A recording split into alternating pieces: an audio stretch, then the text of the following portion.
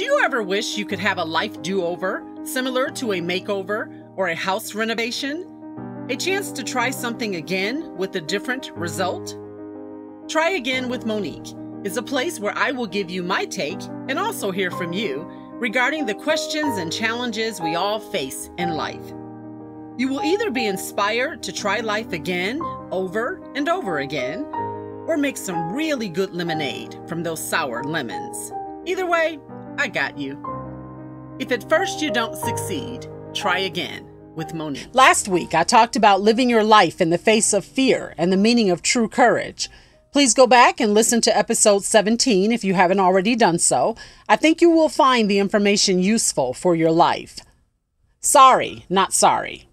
We hear that expression in songs, on social media, and perhaps in daily conversations. But what does it really mean? Well, it is a colloquialism that means you don't feel any remorse for what you say or do. It's essentially saying, I don't care if you're hurt or inconvenienced by what I say or do, and I'm not taking responsibility for that hurt or inconvenience. Another way of putting it is something I read recently, which said, Sorry, not sorry is a sarcastic way of acknowledging that someone might not like whatever you're saying or doing, but you don't really care. Sorry, by definition, is re- uh, feeling sorrow, regret, or penitence for causing pain. Not sorry is obviously not feeling sorrow, regret, or penitence. So, how can the two be used in the same expression or sentence? They are diametrically opposed to one another and they're mutually exclusive.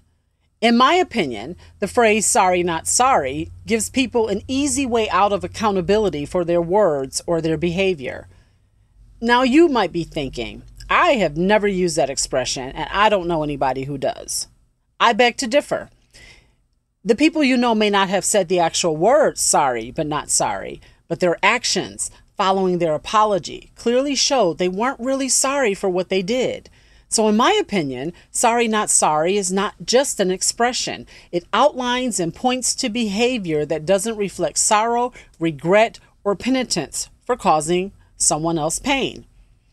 So, what constitutes a real apology, or as it is defined, a statement of remorse you make when you've done something wrong?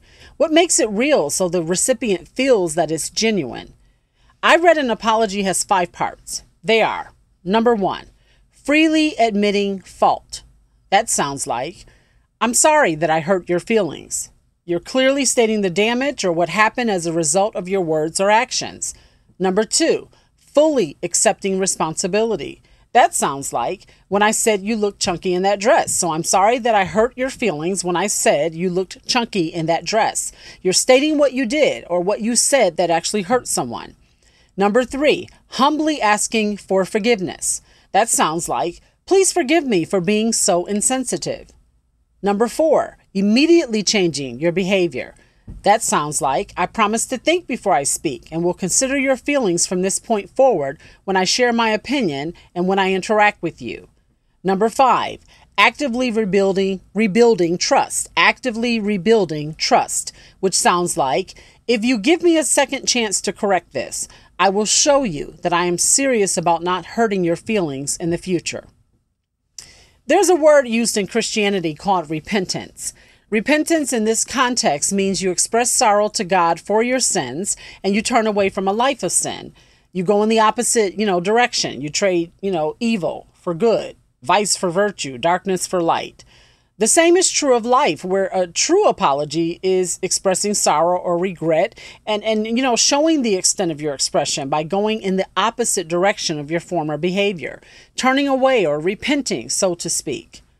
Because the goal is to make sure you don't find yourself saying sorry while your actions are saying not sorry. Your behavior following the apology will show if the apology is heartfelt and real. Remember, as with anything in life, words not backed by actions are meaningless. So you have to show the person or the persons you wrong your apology means something by how you act after saying sorry. And the only way to earn that person's trust again, especially after deeply hurting them or causing them pain, is to do everything in your power to make sure to change that behavior that caused them pain in the first place. Otherwise, The other the other person's reaction going forward might be apology accepted, but trust denied. Because as a quote says, the best apology is changed behavior. I'm going to say that again. The best apology is changed behavior.